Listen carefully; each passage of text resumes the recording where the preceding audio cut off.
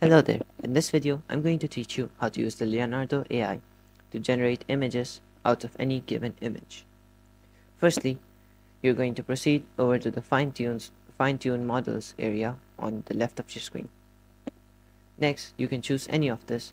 For our tutorial, we're going to be choosing the Dreamshaper V5. If you're having any trouble finding it, you can just proceed to the top and search it over here.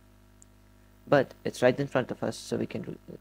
I'm using this one because it's versatile model, great at both photorealism and anime. You can use any one according to your needs.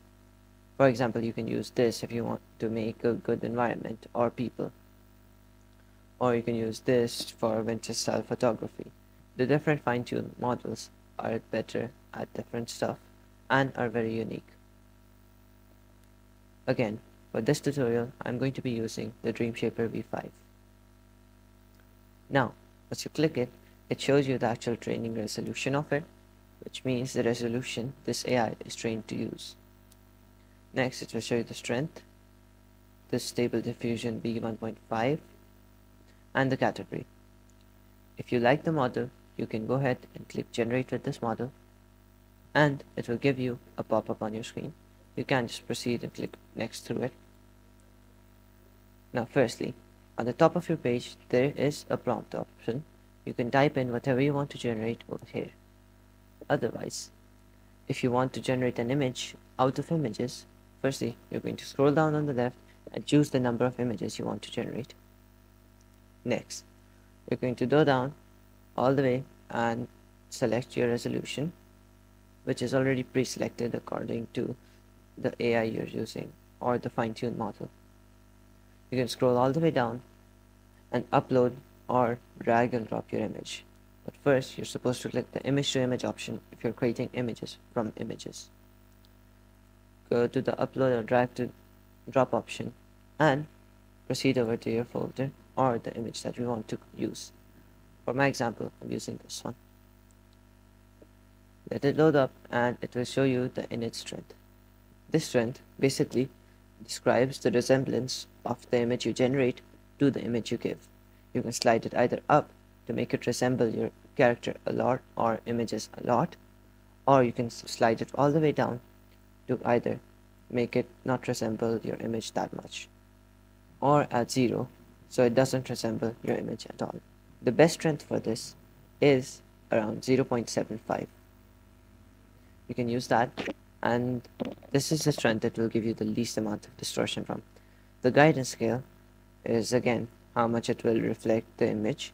You can either choose 20 or 1 but again keep it at 7 or around in the middle for the best results or else you're going to have distorted images. Now you can go here either add a negative prompt which will show you what you don't want in the video for example Now, you can use this and just basically add whatever you don't want in the image that you generate. Now in the top area, the actual prompt that you want to generate, you can choose whatever you want. For example, girl in Iron Man armor. Now we're going to hit enter and it will create four images or the amount of images you selected. Give it some time and it will usually generate it. We might have added the init strength way too much or the resemblance. We can just put it all the way down and try again. It's basically a trial and error method. Sometimes it will give you exactly what you want, other times you have to try more than once. Look now, it generated this one or this one which is slightly distorted on the armor style and this one's slightly better than all of them but it's not exactly the armor we need so we can hit enter again and it will generate the whole thing again for you. Keep in mind you only have 150 tokens in the start for the non-premium plan. You can upgrade to get more but also again keep in mind because sometimes it, the generation will take 4 tokens 8 tokens so yeah. Now look these results are similar to the other ones so we can change up more stuff like the guidance scale what if you just maxed out and generate again? It will generate again using our settings? So we can just wait for it.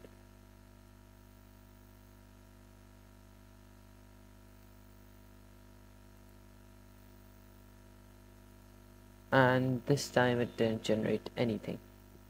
Well we can hit try again we're going to edit the prompt a bit and then hit generate again. Now look it's slightly better but it didn't really listen to our full portrait part so we can't hit generate again but with different settings. For example the guidance scale we can set it to 7 which is I think the best option according to the Leonardo.ai website. If we hit enter again it will create it again unless you're out of tokens. Now it's slightly resembling this which it's supposed to. With this we got the best results possible. So what if we just try making the strength up to max? Just wait for it and it will generate again. It didn't really do much this time. Maybe because we maxed it out. We could just try going with 0.51 it's slightly better now it resembles that and kind of goes with the Iron Man thing I do not know what happened with the headphones over here but we could try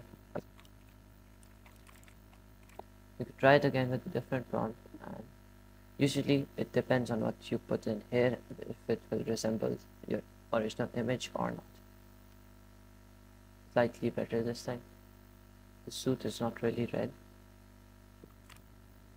We could just slide this all the way down just to see what happens and slide this all the way down too. A better of a result. As I said, these settings are not really guaranteed. You can mess around with it and figure out what's the best for you. Right now I generated a very detailed one according to our instructions you can add more stuff here obviously you can make it more complicated and yes that sums up this video thank you for watching goodbye